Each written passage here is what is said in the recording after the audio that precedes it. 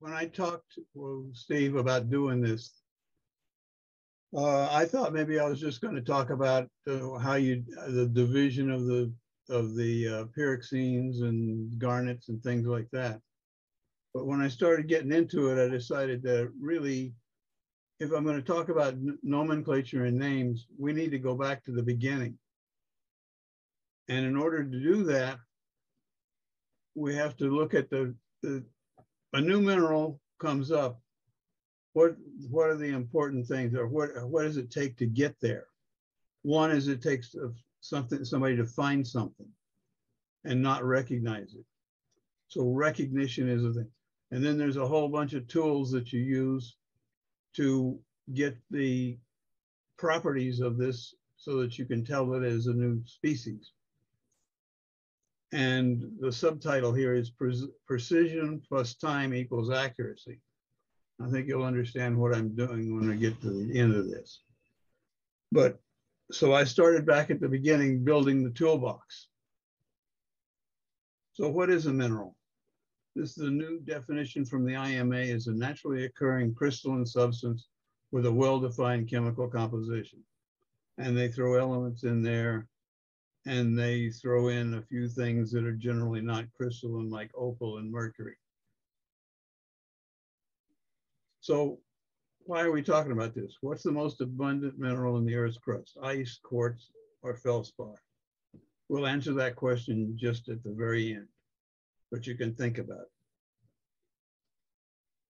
Okay, mineral, minerals have been known forever and ever because the hand tools that were used back in um, in the Neolithic and then proceeding on further, where they knew that flint was a hard breakable thing that made a, a uh, sharp cutting edge.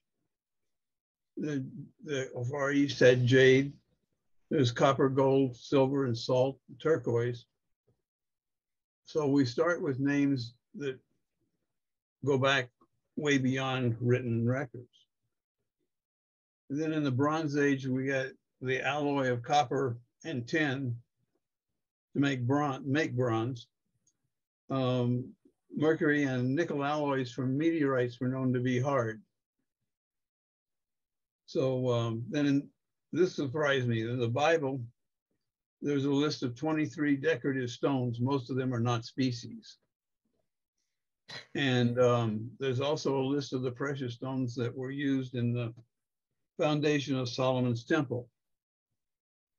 The same period of time, the Egyptians were using natron as a desiccant uh, for the mummification process.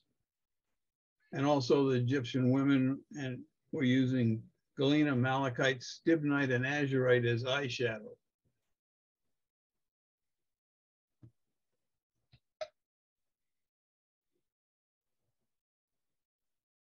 Aristotle described minerals and their properties, including mostly metaphysical. All substances were comprised of water, air, earth, fire.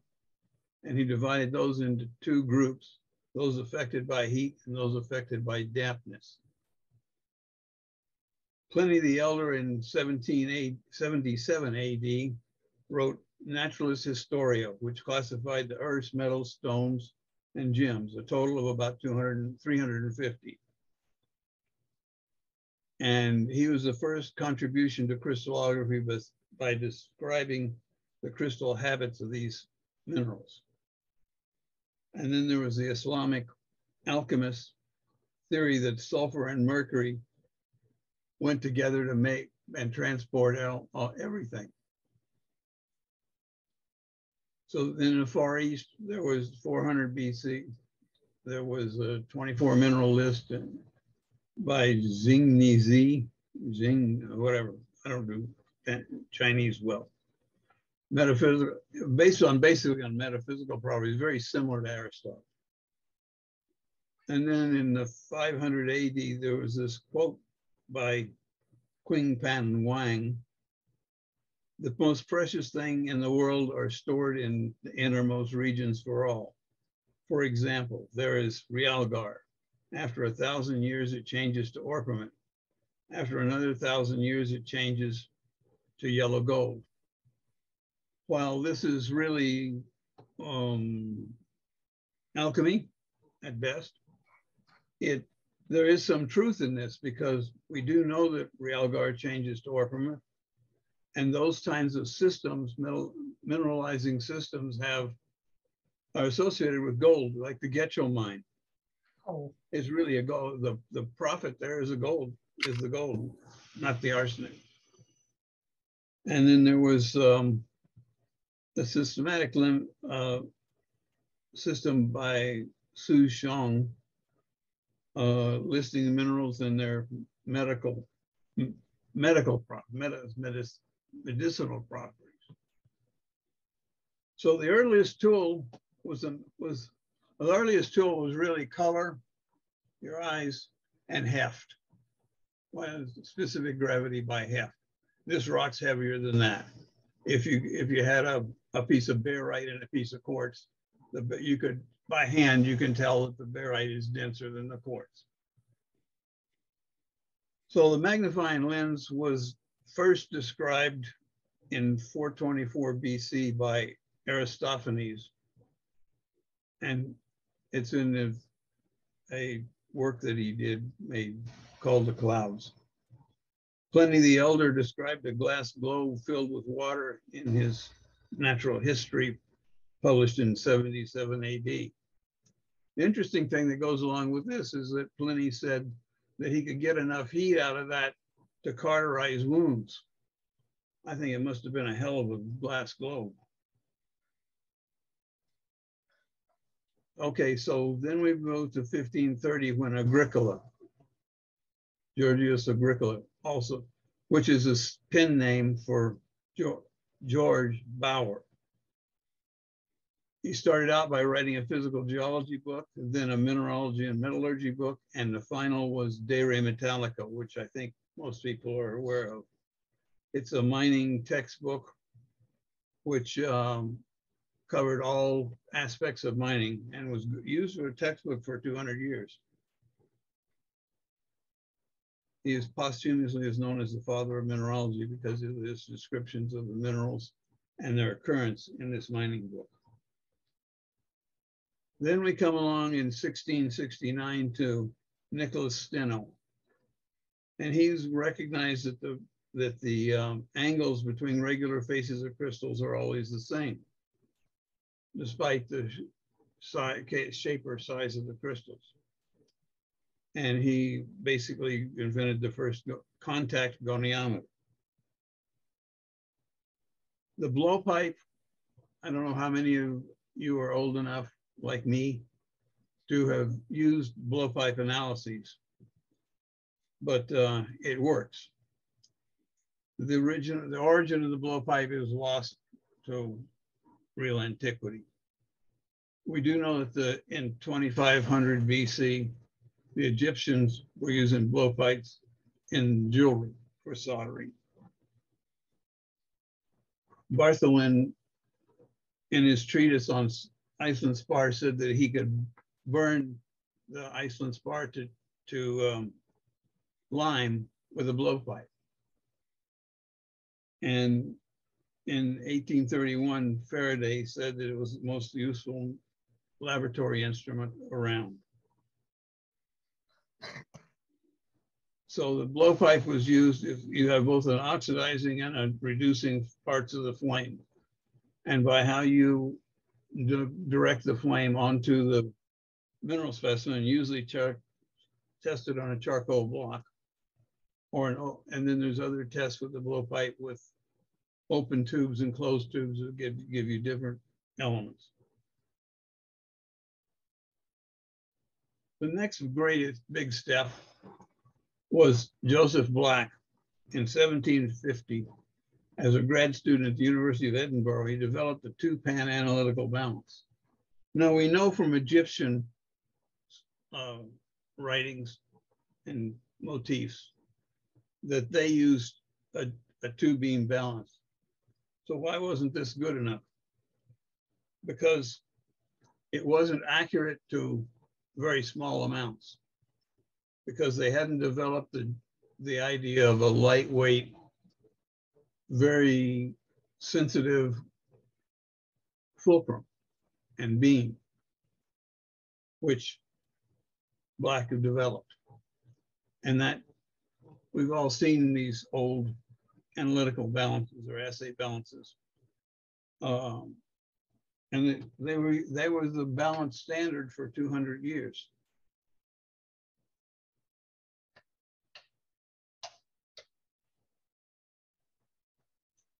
Werner in 1749, 1774, sorry. Proposed the chemical classification of minerals based on the periodic chart that was just being developed.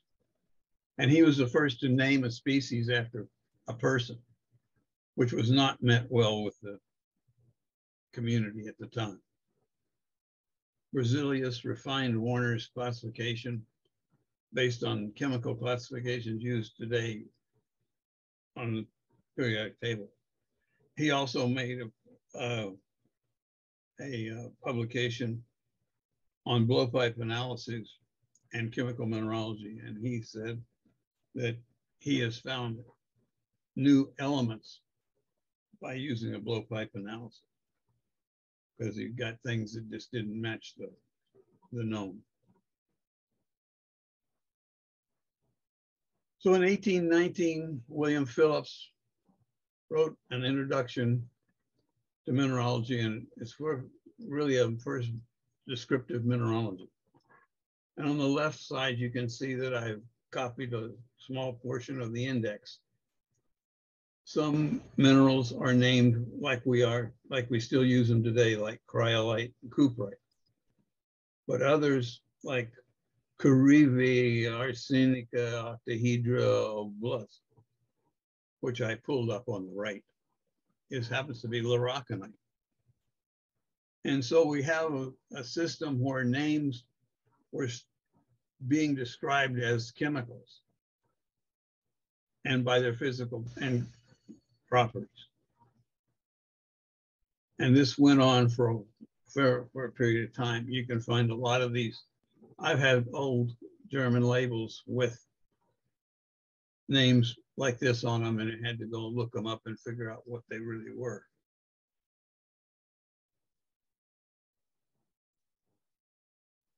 In um, 1801, Haüy defined crystallography. And in 1822, he showed the first structure of how a salt cube grows. And just for you, Martin, he's got crystal models. This was the origin, origin of the crystal model. So you could ma, you could match the models to your specimens.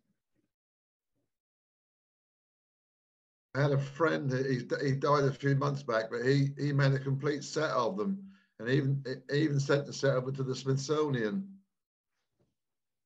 Um, That's good. I've never been able to find a set. Uh, then eighteen twenty-two, we got the hardness scale from, from Frederick Mohs.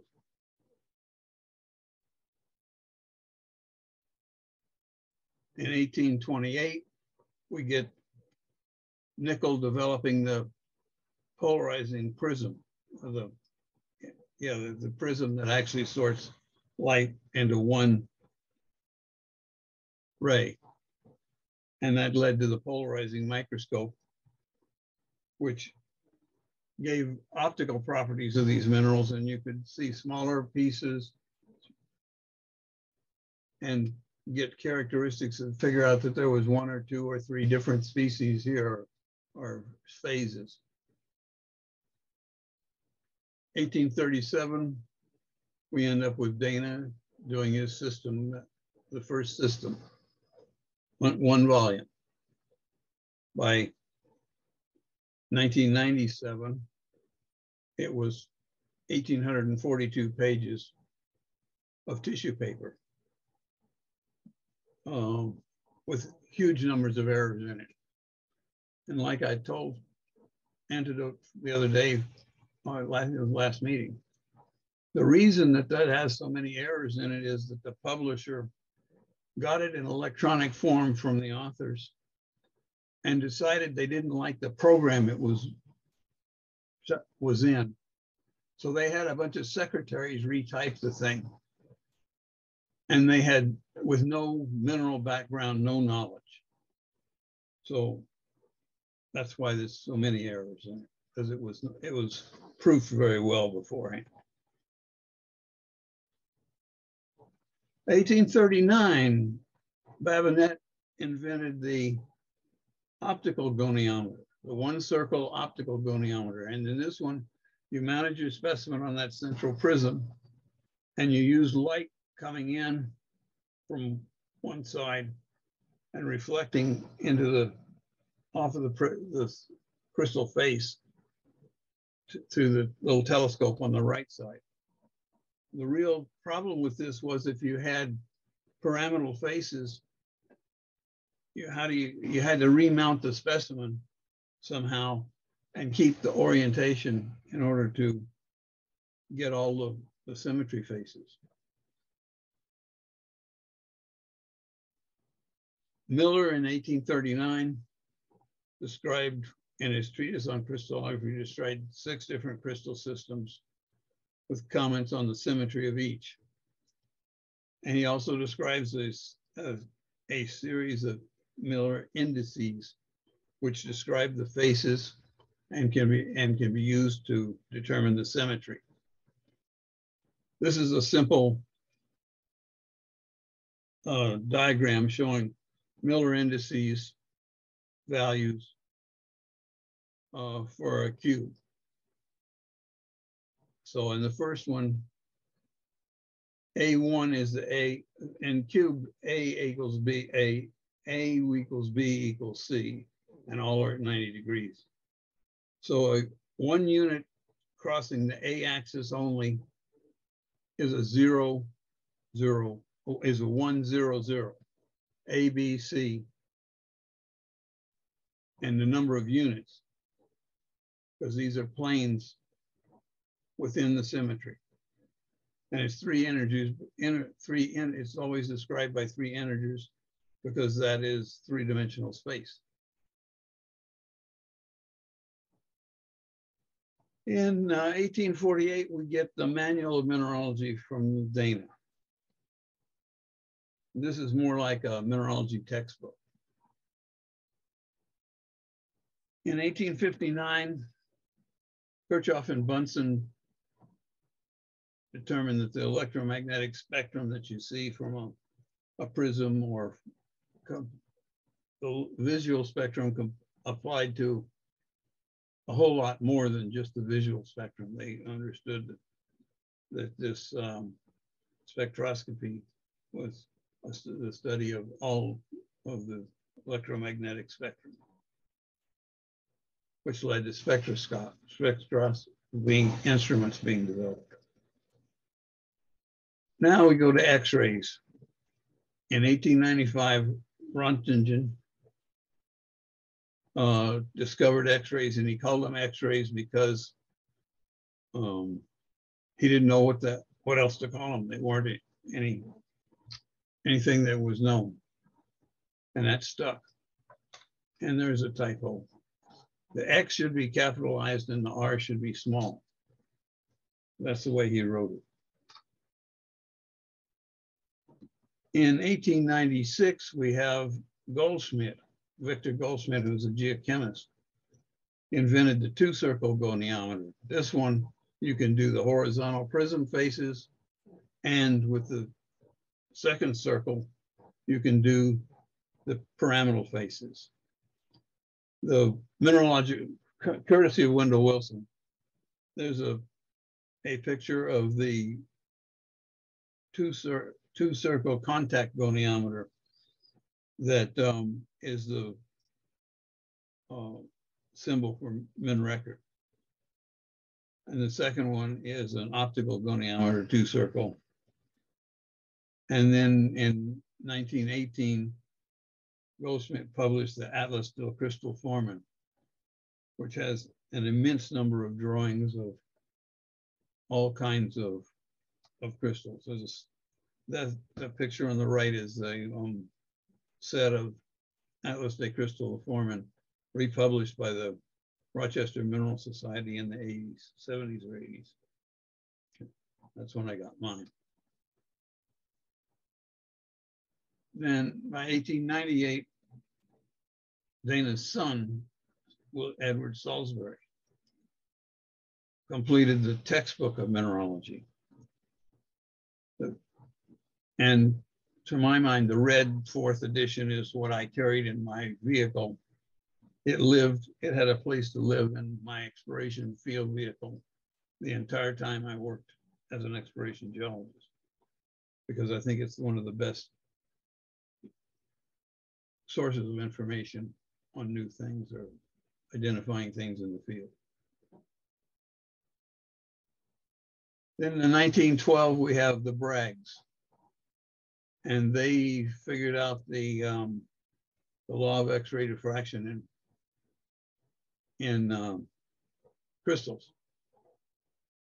And so they figured, this is, this is said, this has led to all kinds of X-ray equipment being developed. Laue. He had a, he got a Nobel Prize for the diffraction of X-rays by crystal. And then aside from this, a very interesting little aside that I came across. He was an anti-Nazi. He left Germany for Denmark. But when the Nazis started moving towards Denmark, he uh, he had been working in the one of the big labs and had already had his Nobel Prize, but he couldn't take it across out of Germany or out of German territory. So he and a chemist dissolved the Nobel Prizes in, in Aqua Regia and set them on the back shelf of the, of the reagent shelf of the lab.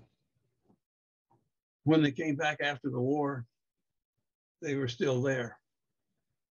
So they reprecipitated the gold and took it back to the Nobel Committee, who recast his Nobel Prize with the original gold.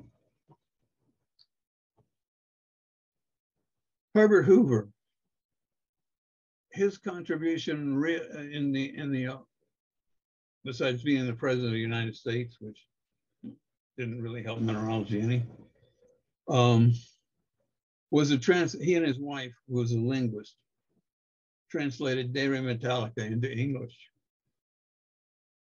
Um, and that's basically, he graduated from Stanford and he worked as an exploration geologist around the world. He co-founded the zinc mining company at Broken Hill, Australia.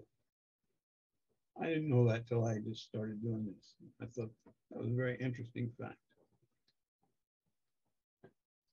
1916, Debye and Scherrer developed a, the powder powder method of diffraction for identifying substances. And the Debye Scherrer camera is shown on the right. Used a piece of 35 millimeter film punched with two holes, one for the co- collimator and one for the catcher. And this, the specimen went on a little spindle that rotated in the middle. The lower left is a diffractometer from the 60s.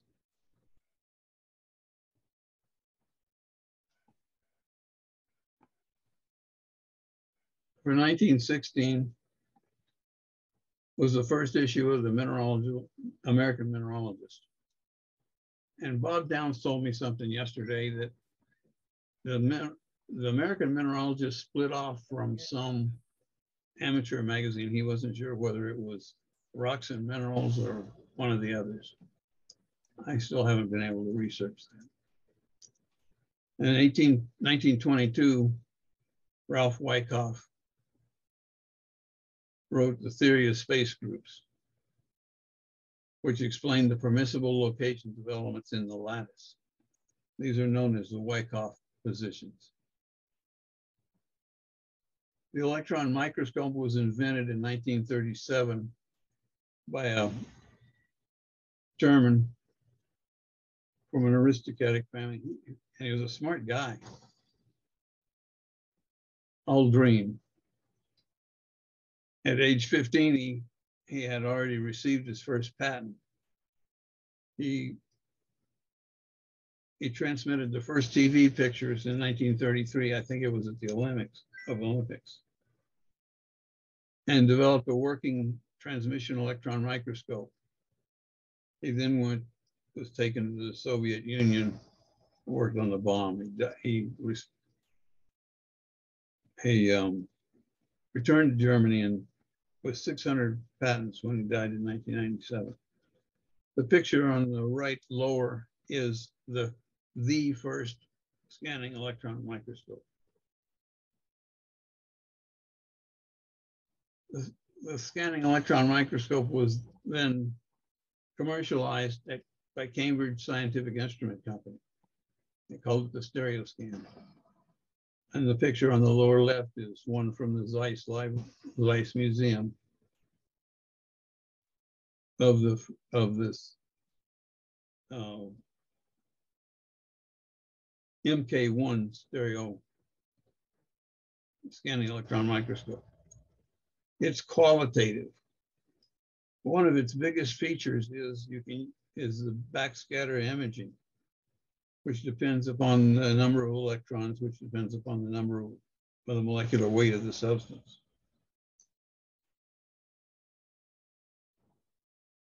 This picture shows a galena pyrite and sphalerite ore sample under BSE imaging. And you can see that the pyrite is um, dark gray. The galena is very light gray, and the sphalerite is hard to detect because it's it's fairly close to the pyrite.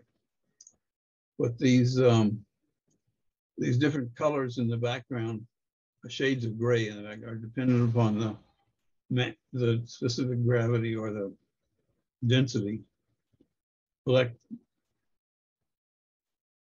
Um. um,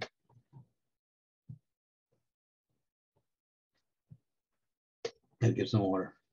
On the molecular weight of the, of the substance, galena in this case being the, the highest molecular weight is the lightest and pyrite being the lowest in this case is the darkest.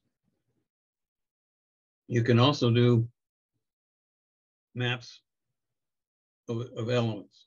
So you can see below there where the sulfur, the sulfur includes everything. The zinc only includes the sphalerite generally. The iron only includes the pyrite. And the lead shows where the galena is. Here's another BSE image, and this one, the pyrite, is the densest because it's pyrite, quartz, and organic material. So just because pyrite's white in one, it's not always white. It's all relative based on the density of the material or the, not the molecular weight and number of electrons. 1932, Hugo Strunz developed his thesis on silicates and phosphates and published mineralogical tables in 1941. These were then um, got a co-author after after a while with uh, Ernie Nickel.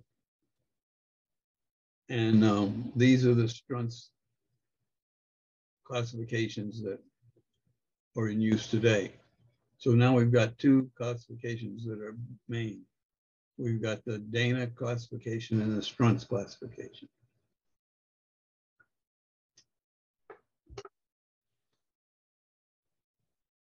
Goldschmidt in 1937, who since he was a geochemist, he um, divided sub classified rocks as to lithophile, siderophile, chalcophile, and atmophile.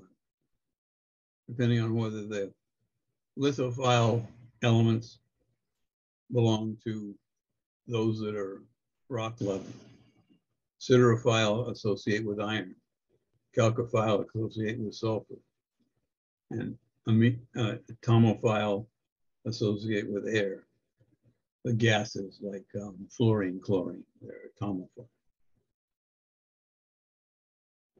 1950, we have a new classification on the on the border. It came in came from Britain, from Max Hey, and it is the third most commonly used classification still. 1956, the electron microprobe came on the existing Castaing, built the first one, and the picture of it is the upper right. Cameca commercialized it as the MS-85 in 1956. It's capable of quantified analysis down to one to two micron areas. Next was Raman.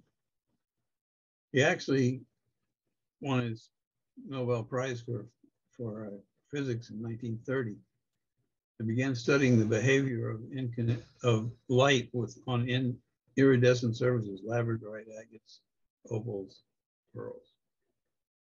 He finally figured out the Raman effect, which is the light transfers of material is deflected against the cleavage, changes against the changes in light, changes freak wavelength and frequency as it returns from the- these iridescent um, materials.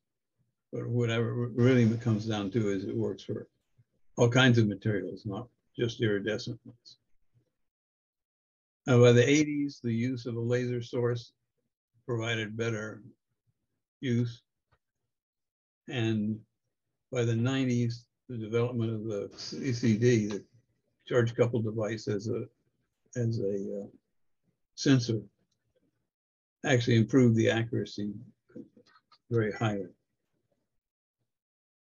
This is what a Raman uh, spectrum looks like.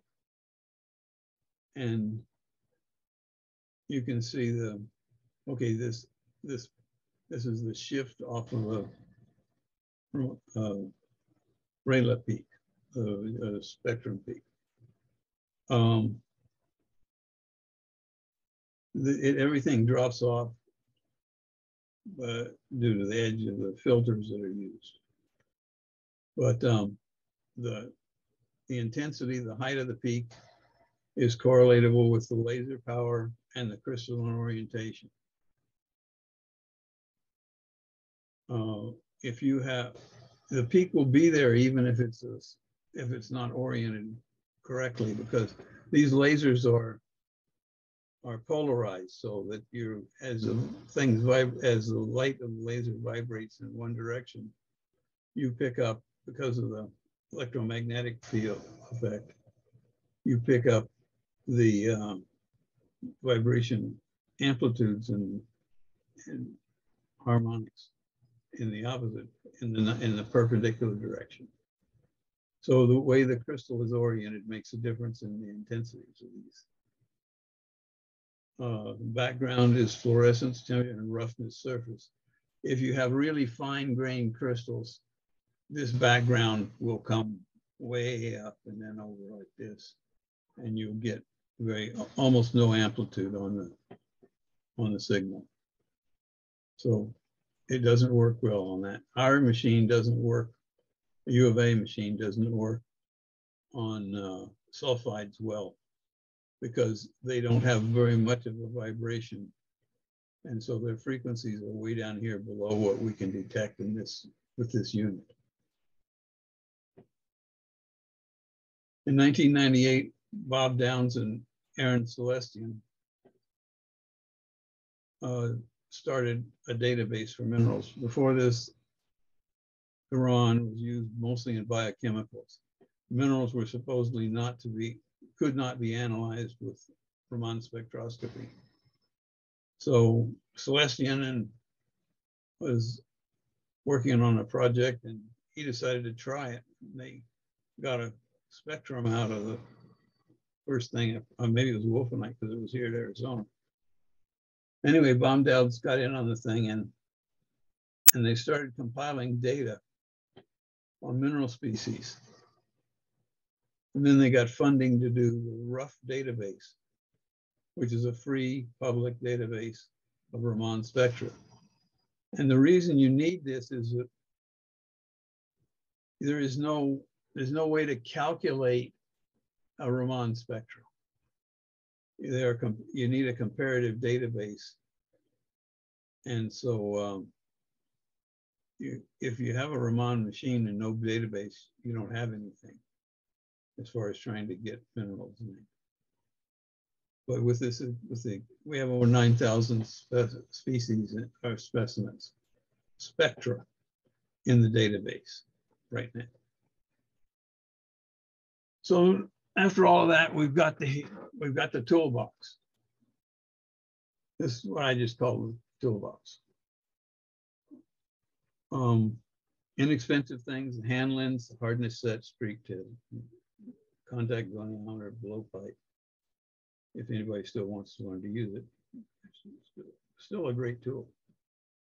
Uh, specific chemical tests, there's a book called Spot Test by Feigl that describes how to determine if certain elements are in a substance. Uh, associated minerals, radio, uh, fluorescence, and experience. That's a big issue. Experience in the field is what you really need to have. Moderately cost are binocular and petrographic microscope and a photo and a camera to do photo stacking. You can see a whole lot more about crystals now that we can photograph things down to a, a millimeter or so. And with an SEM down to a few microns. Then you come to the, to the lab equipment, emission spectrometer, Raman, infrared, which is like a Raman, X-ray spectroscopy. Oh, inter, the IR is spectroscopy. X-ray diffractometer, both powder and single crystal. The scanning electron microscope, or SEM, and the finally the microprobe. So, naming a new mineral species is a four-step process. Number one is determining if it is a new species, finding the sample and comparing the characteristics against existing species. Once you've done that and decided it doesn't match all of the existing characteristics or anything, then you have to you have to characterize its micro, microscope, macroscopic properties, crystallographic properties, physical properties, optical properties, chemical properties, description of the occurrence,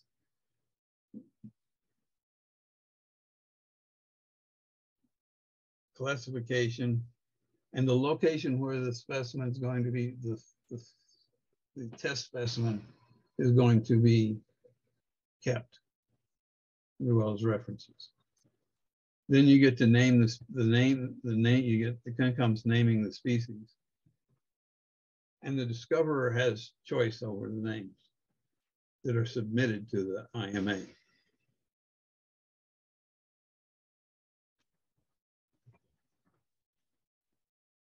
Finally, it's submitted, submission to the Commission on New Minerals. And they decide whether they will, they will go over all of this data and decide whether it's acceptable or unacceptable. So what are minerals named for? Historical, persons, places, impersonal names. We'll get to, all I'm gonna go through each one of these. So we'll just go down and go through. Historical names for persons. Werner was the first, as I said earlier, Werner was the first to introduce personal names to minerals. Prehnite for Colonel Hendrik Prehn, South Africa. Torbernite for Torbern O'Bergman. Witherite from William Wither. Not, it was not well accepted for the mineral community. The major complaint was that the names had no relationship to the physical and chemical properties of the mineral. Mineral, many mineral names have become obsolete due to advances in analytical techniques and discredited as mineral species. These names generally cannot ever be used again. I don't like the word discredited here because what you're doing is using different tools. You develop better tools than the guy that had described it. So why are you discrediting? His work is still probably partially valid. And he just didn't have all of the tools to do that, to, you know, that are available today.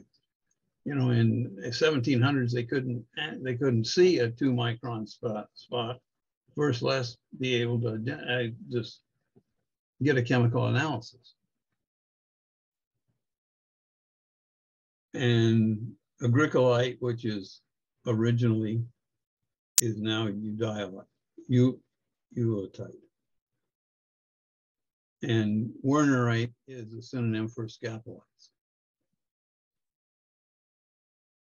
Names for places are very simple. It's the Vesuvius, Mount Vesuvius for Vesuvianite. Cornwall County, England for Cornwallite. Grand Reefite for the Grand Reef Mine in Arizona. And there's lots of others. Now we'll start talking about the impersonal names. The suffix oid, which means light, is like chloritoid is like chlorite. Jadeite is like jade. Combinations of mineral names, maghemite is magnetite plus hematite. Companies, Santa Feite is the Atchison, Topeka and Santa Fe Railroad, which brought ore to and from the, the uh, Colorado Plateau. Mythological characters like Aegirine for Aegir, Scandinavian god of the sea, and for native peoples, Incaite for the Incas in Peru and Bolivia. And lastly, for project or database. Rruffite for the RRUFF project.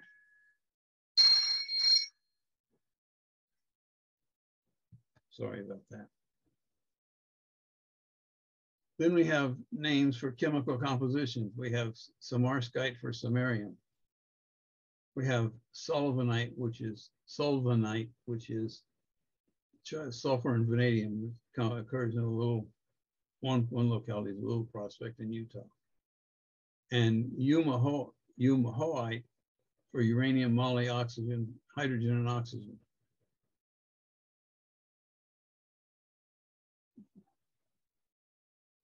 Then we have Greek names, crystallographic things from tetrahedrite for the tetrahedron, uh, cylindrite for the round columns in the mineral, tetratomite for the, for the fourfold twin, clinoclase means inclined fracture. Uh, crocoite came from saffron orange in some language cryolite because it looks like like ice. Barite from heavy. Anhydrite from without water. And hematite from hematesis, which is blood red. Those are all Greek. Latin. Physical for aquamarine was from this sea green color. Stannite for tin. Other Old English spar was used for calcite was calspar, fluorite was fluorspar, and pearl spar was dolomite. Uh, Russian mus Muskova or Muskova glass goes to muscovite. And the Spanish for platinum for plata, which is for silver. Interesting interesting aside there, I did some work in Colombia for plat on platinum. And the old time, the um, the Spanish threw the platinum back in the river for it to age because they thought if it aged long enough, it would become gold. Just an aside. Then we have all the prefixes. Plural for green. I'm not gonna go through each one of these. I'm gonna let you guys just look at it. You, I'm gonna make this available to anybody that wants a copy. Either probably in a PDF form. Or I, Steve could publish it in the Chronicles if he wants. Then we have suffixes. Ite, which is the most common suffix, means of nature from the Greek. Lithos, light. Right, cryolite, like ice. Uh, uh, INE, tourmaline, is pertaining to. Um, oid, we just went over, Lavendulin belongs to. Using, the U, the UM, electrum argentum, those are used for elements and alloys, they're Latin. Uh, clays means fracture or break, like rhomboclase, clays, which we talked about earlier. Craze means a mixture, like polycrase. Klein.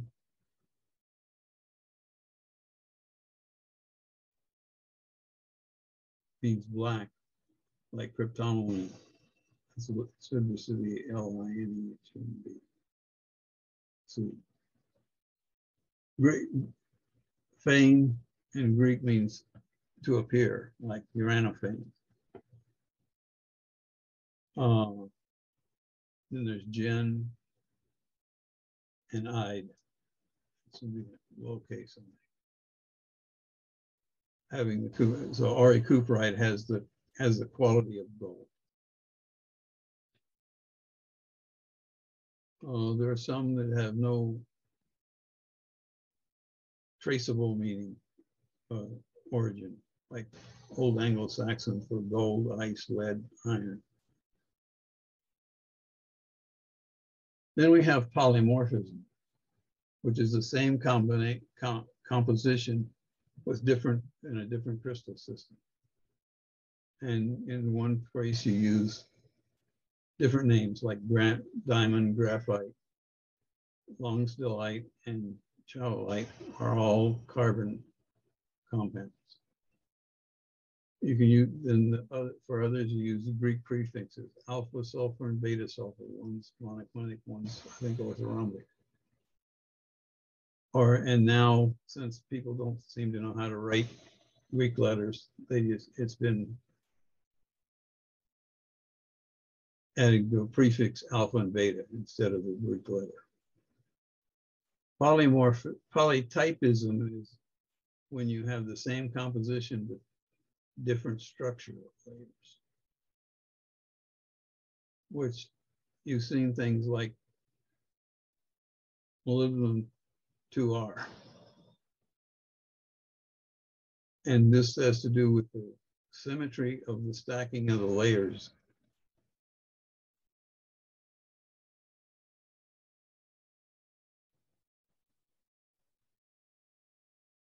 Well, two- oh, it's two H and three R. There we go. They're hexagonal. the, the, they have different the same composition, but different structures. So two H is hexagonal and three R is rhombohedral. Well, the unit cells have the same A dimension, but the C dimension is six point something for the unit cell. And so, uh, I mean, the C dimension of this layer is six. So two layers, H2, hexagonal two layers, gives you the 12 angstrom a unit cell for, for uh, 2H. And the 3R has three, six, so somewhere around six angstrom layers. Shown in, then they're trying to make you, you more symmetry and make this more exact. Instead of just saying that it's 2H, it's, it's H hexagonal, A equals A, and C equals 2. So this is a a nomenclature for dividing up or specifying more accurately the two H designation. And you can see for the little model in the lower left-hand corner that you can see there's two stacked layers. And in the model on the right, there's three stacked layers. The top and bottom together make a layer.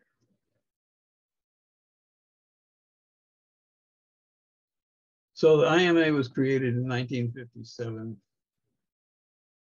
And it's not made up of people.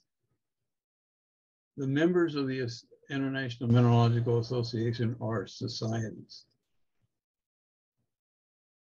Like IMA as uh, a- a American Mineralogical Society is a member. The Canadian Mineralogical Society is a member. And it was created with a bunch of people that are fairly famous. Claring Wolford is named Newman. Berger. The following commissions were created. One on new species, one on preservation and accessibility of type materials. One on nomenclature, one on abstracts. One on the continuing publication and revision of the system of mineralogy. And the third one on museum. Series. This is- This is where we get into some of the more interesting things. Rare earth minerals use a suffix to designate the series like allanite CE, LA, and Y, all part of the allanite series. So it's also used in um, other things where the cations change, um, like the zeolites. Um, in isomorphous systems, series not not the not the rare earth, not containing rare earth elements, like proustite and pyrargyrite.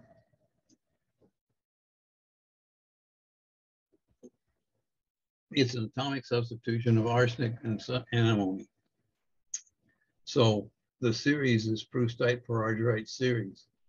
And if you do not know the chemistry or the ratio of the arsenic to the antimony, the proper use of the of the name is the proustite pyrargyrite series. Same thing comes with xanthoconite and pyrostilpnite. If you don't know the ratios, you have to use the series name.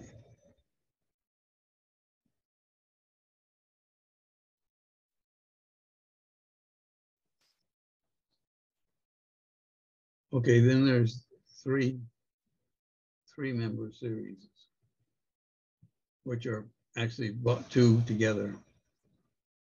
Pyromorphite and mimetite is a series, phosphate to arsenic. And if you look at the bottom, hedyphane it looks like it ought to be in that same hedyphane and phosphohedyphane. However, they are only in the, that part of the, the arsenic phosphate portion, but this calcium substitutes for the lead, so that's a different site. So that makes it a different series.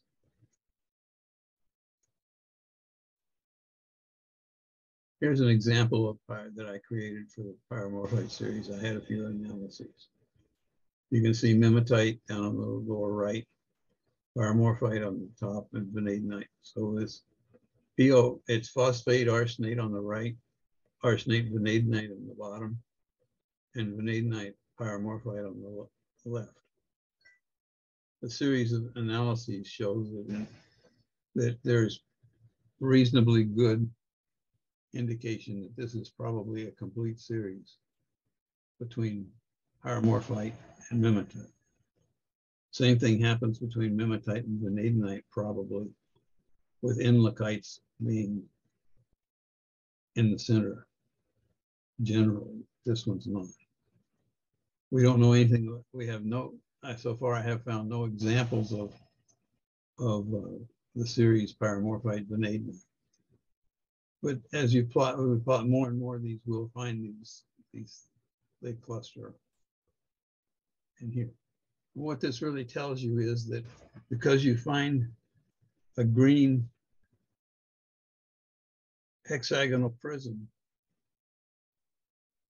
it's not necessarily pyromorphite. There are some nice green mimetites. So that doesn't work anymore. So again, if you don't know the phosphate to arsenate ratio, it's the pyromorphite mimetite series.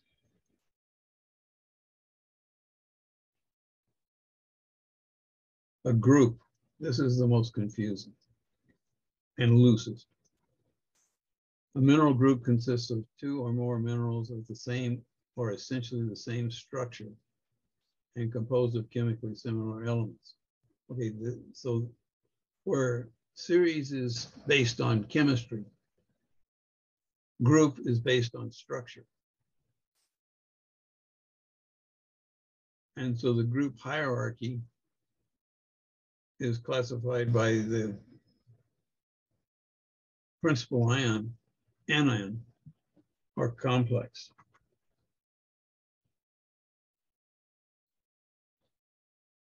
Silicates are classed on their bondings of the tetrahedron. Then there's family groups, which are huge groups. And there are even supergroups. The apatite supergroup includes, includes mimetite and a lot of other hexagonal prism.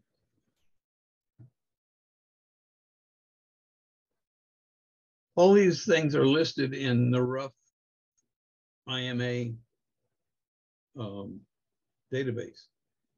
And uh, shown here is how you use it.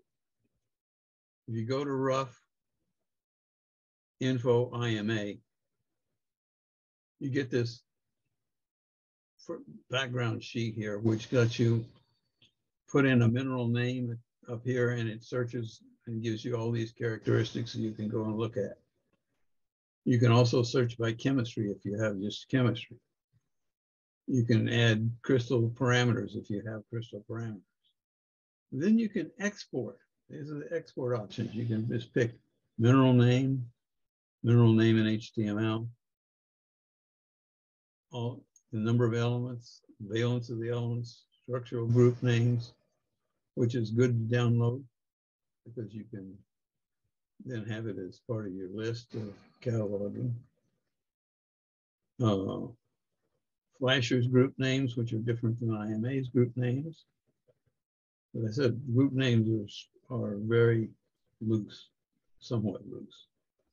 Then the first year published, I, I use that to produce a graph we'll see in a minute. But all these you can download as a CSV or as a table or a list. It's very helpful and very useful. This is an example of a, of a list I created very quickly and just downloaded and saved off in Excel. The uh, as you can see, the the chemistry is when they call chemistry plain is correct. It works. And in this is imported right into Excel. I've had trouble getting the same chemistry imported into Access. It doesn't want to recognize the superscripts and subscripts. I'm sure there's. Okay, so here, what is this? This is the history of mineral species by year. What it is, it starts out back at 1556 in the left-hand corner when there was 37 minerals and proceeds year by year to today or to this, this year. And the graph at the bottom is a line connecting the top points of a, of a stacked bar graph, showing the, the single number of space species defined in a given year. And the red line is the cumulative number of specimen species now. We're at 5,800 and something now. So why, why, did I, why was I interested in doing this? I wanted to see if the, if the tools in our toolbox made any difference in the number of, of uh, described species. Oops. So we go back here I certainly thought that the analytical balance would make a big difference. It made no difference. a polarizing microscope, maybe a few, maybe one year, two years. Development of structures. Spectroscopy didn't do. Development of x-rays and X powder diffractometers didn't do much of it. But the microprobe was a groundbreaker. This was the single most important tool developed in the in the uh, mineral species nomenclature in defining new species. I think there's another point that we're that I'm missing on here, and that is we need to plot the number of mineralogists working in the in that field at the time. I'm I'm guessing that in the 15 uh, seven, even up to the 1700s, the number of mineralogists working on detailed new descriptions was in the order of a few handful, a fe- few, a few, maybe a few tens, probably less than 10. But by the time you get to the 1950s, you've got all kinds of people working on things. So there's more stuff being looked at. There's more that people don't recognize. And so it's a, it's a number of species, number of unknowns available is, is another way of putting it. I think it's very interesting. I thought these other things were gonna make a difference, but then it took, uh, when it didn't, I had to rethink why. Okay, so we have these analytical methods. What are they good for? XRD powder is good for structure, but it has a limitation on preferred orientation of layered species like micas and clays. Because you powder the material and you pack it into a small little um, container that is flat on top. So the uh, beam impinges on the uh, a flat oriented, flat surface. And that tends to give you preferred orientations to the planes parallel to the cleavages. XRD single crystal you need a, is ideal for structure. You can get, you can, if, if you're trying to get the structure, you want untwinned crystals, need good quality, large enough to mount in the goniometer. Well, that, with Dr. Young, that's somewhere around 10 microns. With me, it's probably in half an inch. Um, it also is good for studying twinning. But it, that studying the twin laws is different than trying to get the structure. If you're trying to solve the structure, the twinning makes it much more difficult. Emission spec is something that has been around for a whole long time. It's qualitative at best. You get lots of elemental data. You get data for rare earth elements and such that are locked in the feldspars in the in the uh, host rocks itself. I've had prospectors come in with an e-spec and say, I've got this stuff that has all this yttrium and whatever and whatever.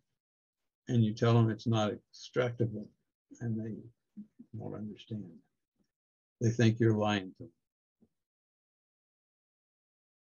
So it's, that's a bit of a, and the Raman structures for transparent mineral crystals, generally sulfides don't work, especially on the machine we have here, which is 15 years old.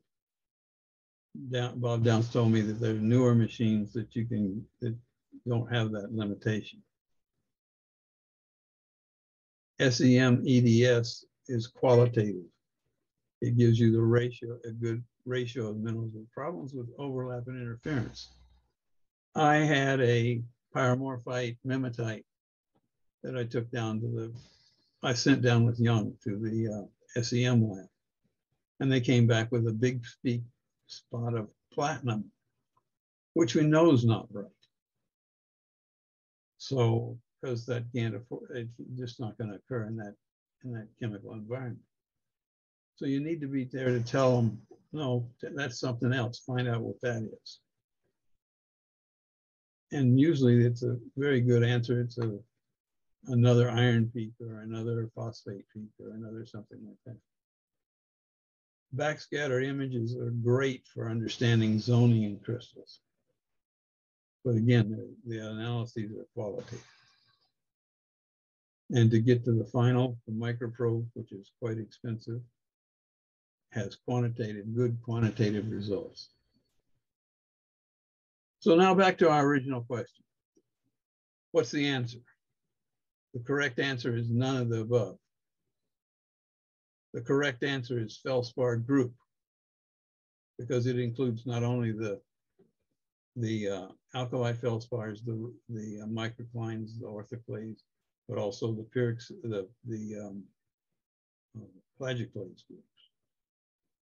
And it's found feldspar is abundant in both oceanic and continental crust.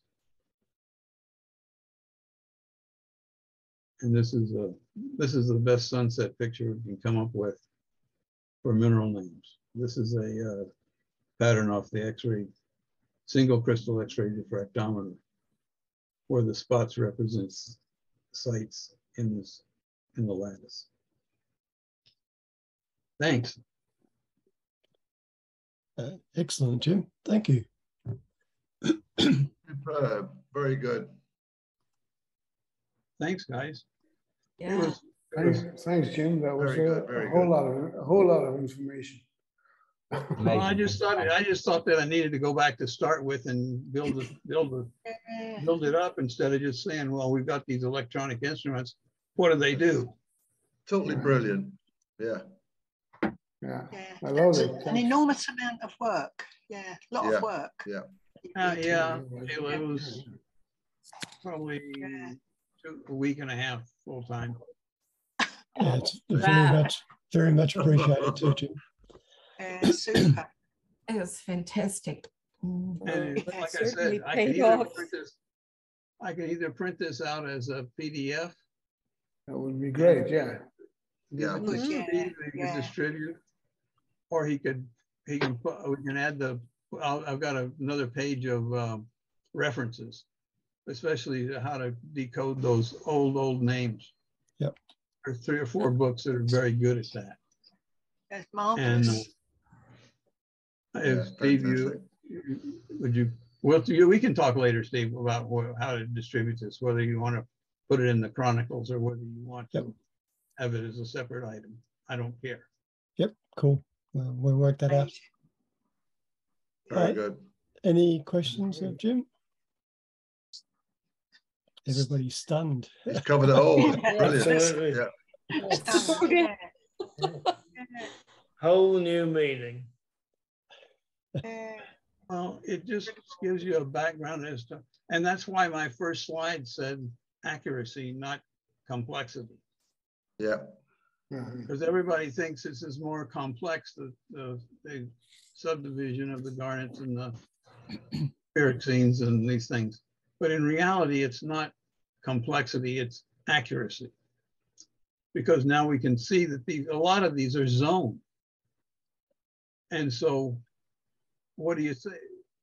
Unless you have analyses of each and every little layer of the zoning, Hmm. you- Yeah. you don't have a true name. no, So you have to go back to the group names or the series names. Yeah. Yeah, it starts to get complex for um, ordinary collectors, definitely. yeah, Over, Yeah, but That's what I was trying to explain why I didn't like the word complex. It's really, it's really- it, it- it appears complex, but in reality, it's accuracy. yeah, Um, It works nicely when talking with children too. And they're looking at something that someone tells them is diopside. But diopside can look so very different in terms of its color, its transparency, its its more outward, its morphology. And then they look at something else and someone tells them, oh, that's Hedenbergite. And it's really it really helps to be able to explain to them that minerals even the name doesn't mean that this diopside is exactly the same as this diopside. It's part of a series that is based on chemistry. And then they start looking at minerals quite differently. Uh, uh, once I've been able to get this idea through, and they're more fascinated, generally speaking. So children appreciate that kind of uh, the more precise, and I'm using your word, uh, idea that is in, encapsulated in things like a series, for example. So anyways, I'm just Yeah. throwing that out. I also like to use the classic birthstones as an example of varieties versus species. Mhm, mhm. Because Yes. you, you have, there's, there's not very many species represented in the Yeah. historic birthstones. Because Hmm. you've got beryls, you've got aquamarine, you've got morganite, Yeah. which are all beryls. You've got citrine, you've got uh, opal, which are all silica, so quartzes of some sort or another. Or you go to some of the older ones and basically there are many, many different kinds of chalcedony that are, that are used for, Agreed. uh, for stones distinctive by month or whatever. Mm. It's a bit like eyebrows. I was just thinking, the way the children, yeah, you got your whole class. They've all got eyebrows, hopefully, and then you compare them. There's going to be so many different angles, colours, shapes. Yeah, I'd try eyebrows. That's a I'm gonna good s- one. I like that. nice, is, Only, only Oh, you, Sheila, only you. Only you we- could do that, Sheila. That's Yeah. a That's how we coolest do thing. And then we start with Belson's eyebrows. Like little I haven't got capulars, any. you know, Furry capulars. yeah. Yeah. And Then you have My- eye my- Mine's the same as my head, not existent. Mm. Right. Um, any other non-eyebrow or hair related questions? Yeah. Jim, I really appreciated your talk and you spoke nice and slowly. Um, Okay. Steve, I'm glad you re- recorded this because I'd like to bring it for a club program this fall, Yeah. you know, the recording. Yeah. Um, I do have a question. I, I really appreciated your slide on the new mineral species by year. And I noticed that you concluded with 2000 at 2014. Um, That's just on naming, the chart. That's just the naming last number on the chart. Sure. So it was uh, in 2014, 140 uh, number of species. So how many do you think, how many species do you think are at present? There's fifty-eight hundred and sixty some odd. Mhm. Almost. Just a few, 5829. Just a few. Got a way to go yet then. Yeah, just a few. But we, So we- how- like in the lab here at the U of A, we've got six sitting here ready for submittal. Wow. It Seems like every Young. two years, it, it goes up by almost a thousand recently. Uh, I mean, But how many have we got sitting on specimens? We never, never got to be known what it is because we can't get it tested. Yeah, Yeah. that's the whole Yeah. point. Yeah. Yeah. So the I'm going seed, through my, co- as a volunteer and with Dr. Young, I'm going through my collection and looking at things that I've set aside that were, look different. Yeah. And we're, there's four of us that are volunteers with Dr. Young. And uh, that's why, that's one of the reasons why he's had such success in describing new minerals. Yeah. Yeah. But the- the, better the techniques uh, are, are, being, uh, the, the, the more and more difficult Yeah. it's, uh, it is to make distinctions. That's right. Because uh, as you, you take the, the, the, example, uh, agardites, agardites are, are, REE minerals. There's no such thing as one of those. You always mix, uh, mix, Right. mix, mix, mix the minerals because the technique gets better. So you can, uh, yeah, yeah. can, can, can measure on a much more detailed level. Yeah. So that, that's for, for, for amateurs, that for, for hobbyists like us, that makes it, uh, oh, well, not easy, to say the Yeah. least. Well, it's not, ea- it's not easier and and it's expensive. If you Yeah, want to, well- if you- want to get an exact, an exact name for everything.